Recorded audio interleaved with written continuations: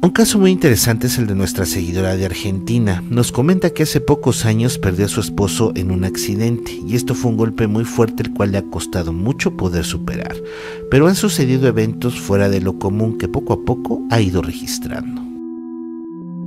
Primeramente, después de su muerte, numerosos pajaritos se presentaban en la puerta de su casa, como si la pudieran entender, incluso se dejaban agarrar por ella. Aves que por su naturaleza es muy difícil poder atrapar, como este colibrí que voló a su mano y lo registró en video. Vamos a ver. Los que no me creen que a mí los pájaros, los animales me siguen, miren. Acá hay un picaflor que está muy estresado y ahora lo voy a, lo voy a soltar. Ahí está. Nos comenta que su esposo adoraba a su hija ya que les había costado mucho trabajo poderla tener. Después de su muerte se escuchaban a madrugada los juguetes de la niña que se prendían solos, como si alguien jugara con ellos mientras la pequeña dormía. Pero había una muñeca en especial con la que le gustaba mucho jugar a su papá con su hija. Estas se encendían tocándola. De pronto comenzó a prenderse sola. Le sacó las pilas y el mecanismo para que dejara de hacerlo, pero seguía cantando sola. La abandonó en el bosque y días después la muñeca apareció cantando frente a su pórtico. Ella registra el video, el momento en el que volvió a encontrar a esa muñeca. Vamos a ver lo que registró.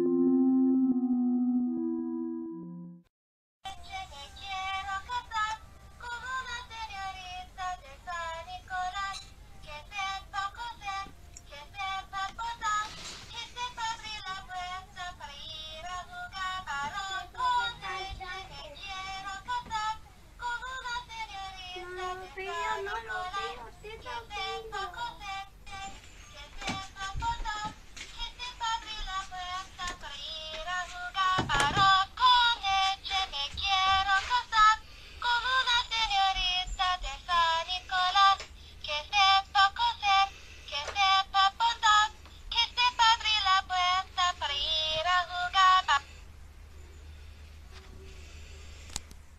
Finalmente, en uno de los cumpleaños de la pequeña, al sacar foto a las aplicaciones comienzan a fallar y tomó esta foto donde la animación parece acariciar el rostro de la niña.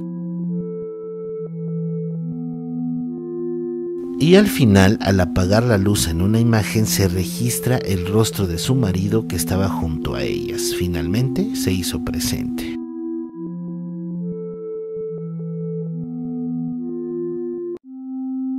Un caso sin duda increíble y muy triste, pero a la vez conmovedor. Como más allá de la muerte, el amor nos envuelve en eventos que nos asustan y sorprenden, pero al final nos dan señales de que en el más allá hay alguien que está al pendiente de nosotros. Algo sin duda impresionante.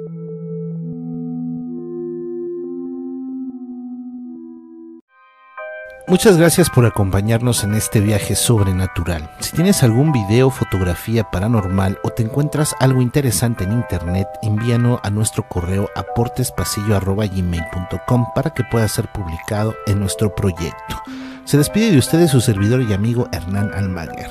Hasta la próxima.